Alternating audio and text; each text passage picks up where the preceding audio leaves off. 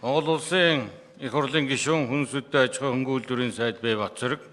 жижиг дунд үйлдвэрийг хөгжүүлэх сангаас 2018 оны 5 сарын 14-ны өдрийн А88 дугаард тушаалаар Хасхов транс хувьцаат компанид 950 сая төгрөгийн санхүүжилт олгох шийдвэр гаргахдаа албан үүрэг бүрэн эрх албан тушаалын байдлаа ургуулж ажиллаж бусдад давуу байдал бий болгосон гэх эрүүгийн эрх авилгалтай тэмцэх газар цагдаагийн байгууллагын хамтарсан ажлын хэсэг мөрдөн шалгаж байгаа явуулт нийслэлийн мөрхөн газраас хяналттай ажиллаж байна. жоохон чимээг айд. Нямдар дарга мөнгө хот гişүү хоёр жоохон ажих хоёр яа. Хүн юм уншиж байгаа тэгээд. Мөрдөн шалгаж ажиллагааны явцад цугларсан алах баримтуудаар улсын хурлын гишүүн Илинх болтон өөрийн бусдад төлөхөөрийг барагдуулах зорилгоор X тайлантай байсан автомашинаар ачаа тээвэрлэх үйл ажиллагаа явуулах чиглэлээр үүсгэн байгуулсан Иргэн Огийн компаниг Иргэн чегийн нэр дээр бэлгэлийн гэрээгээр шижүүлээ авч мах бол сурвалах дэлгэр говь төсөл бичүүлэн 2018 оны 4 сарын 20-ны өдөр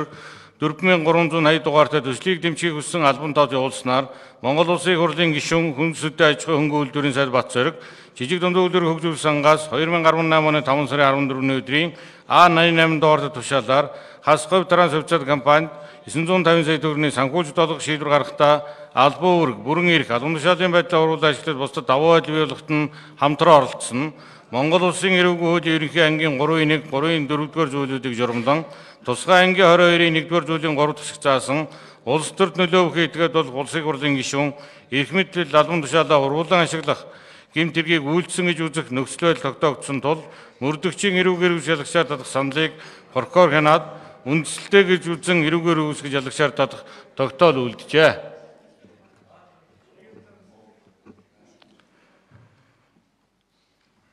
Монгол улсын үндсэн хуулийн 29-р зүйлийн 3-т улсын хурлын гишүүн гэмтэрэг толгоцсон тухай асуудлыг улсын хурлын чуулганаар хэлэлцэж бүрэн эрхийн төтгөлөөс хэсгийг шийдвэрлэн хэмээн зарлан тунхаглажээ. Улсын хурлын гишүүн элийн энэ голдын бүрэн эрхийг Монгол улсын үндсэн хуулийн 23 дугаар зүйлийн 1-д улсын хурлын гишүүн бол ард түмний элч мөн бөгөөд нийт иргэн улсын ашиглахыг эрхэмлэн баримтлана. Монгол Улсын хурлын тухай хуулийн 6 дугаар зүйлийн 6-гийн 1-д улсын хурлын гишүүн бол төрийн эрх барих дээд байгууллага сонгогдсон ард түмний элч мөн бөгөөд нийт иргэн улсын аж ахуйныг эрхэмлэн баримтлана. Мөн хуулийн 34 дугаар зүйлийн 34-ийн 7-д энэ хуулийн 6-гийн 9-ийг зааснаас бусад тохиолдолд гишүүнийг албадан саатуулах, цагдан хорих, гэр албан өрөө, тээврийн хэрэгсэл биедэн үзлэг нэгжлэхийг хориглон хэмээн бүрэн эрх, бүрэн эрхийн баталгааг хуульчилжээ. Улсын хурлын гишүүний алдшгүй бүрэн эрх, бүрэн эрхийн баталгаа нь улсын хурлын гишүүн хилийн болдод эрүүгийн хэрэг үүсгэж ялагчаар дадам мөрдөн шалгах ажиллагаа явуулан шүүхэргийн буруугийн асуудыг шийдвэрлэх ажиллагаанд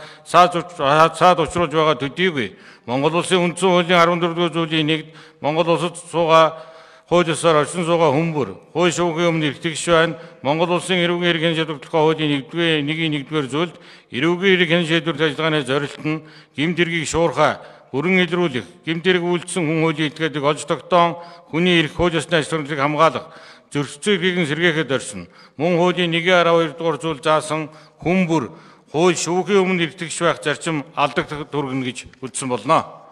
Монгол улсын хурлын тухай хуулийн 6 дугаар зүйлийн 6-гийн 9-2-т гишүүн толгодуулан эрүүгээр гүйцсэн бөгөөд улсын эрхийн өрхөөр түүний бүр эрхийг төтөлзүүлэх тухай саналыг улсын хурлд оруулсан. Мөн хуулийн 6-гийн 13-т гишүүний бүрэлдэхүүнийг төтөлбөрөх асуудлыг төрийн байгуулалт Хууль зүйн байнгын ороодын болон улсын хурлын гишүүний халдшгүй байдлын дэд орооны санал дүгнэлтийг үндэслэн нэгдсэн хуралдаанаар хэлэлцэж хуралдаанд оролцсон гишүүдээ олонхын саналаар нууц санд хураалтаар шийдвэрлэнэ. Мөн хуулийн 6-гийн 15-д гишүүний энэ хуулийн 6-гийн 9-ийн 6-гийн 9-ийн 2 заасан үндслээр бүрэн эрхийг төтөлбөрөх танилцуулгыг улсын эрхийн прокурор зөвхөн байнгын хорооны болон нэгдсэн хуралдаанд хийнэ гэж заасны дагуу Улсын хурлын гишүүн элийн голдод эрүүгийн хэрэг үүсгэж ялагчаар татсан тогтоол гарсан бөгөөд улсын хурлын гишүүний бүр эрхийг төтгөлзүүлэх саналыг танилцуулж байна.